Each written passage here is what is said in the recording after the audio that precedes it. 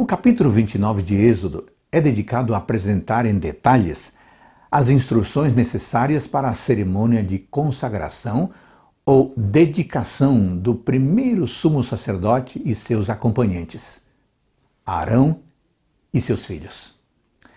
O relato revela as etapas que deveriam ser seguidas para a consagração dos sacerdotes: vestir, ungir, encher suas mãos e consagrar.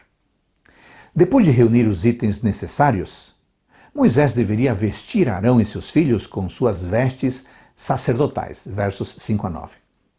Então, ele deveria oferecer três sacrifícios diferentes, que incluíam um novilho e dois carneiros.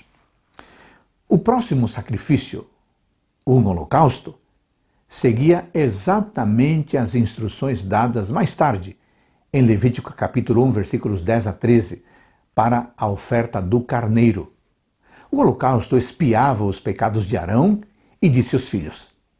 A destruição total do animal era uma vívida lembrança de que o homem pecador não podia se aproximar do Deus Santo. O animal morria como substituto daqueles que foram identificados com ele ao colocar suas mãos sobre a sua cabeça.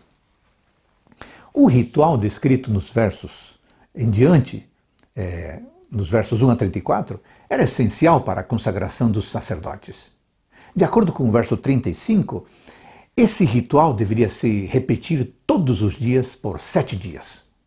O processo de consagração ou santificação exigia tempo. Então, Moisés foi instruído sobre a consagração do altar. Finalmente, eles receberam instruções sobre o sacrifício diário de dois cordeiros como holocausto. Um animal deveria ser sacrificado pela manhã e o outro ao entardecer. Por meio da oferta de um cordeiro, de um cordeiro jovem, a cada manhã e outro a cada tarde, com farinha, azeite e vinho, os israelitas consagravam sua vida diariamente ao Senhor.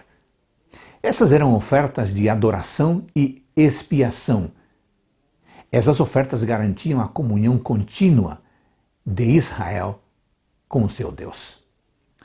As ofertas da manhã e da tarde simbolizam a obra constante de Jesus no santuário celestial.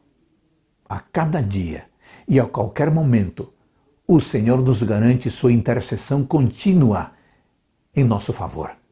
Por isso, aproximemo-nos com confiança no trono da graça todos os dias para encontrar ajuda e esperança em nossa peregrinação à pátria celestial. Comece seu dia hoje perto do trono de Deus, com a intercessão, de Cristo em seu favor. Amém.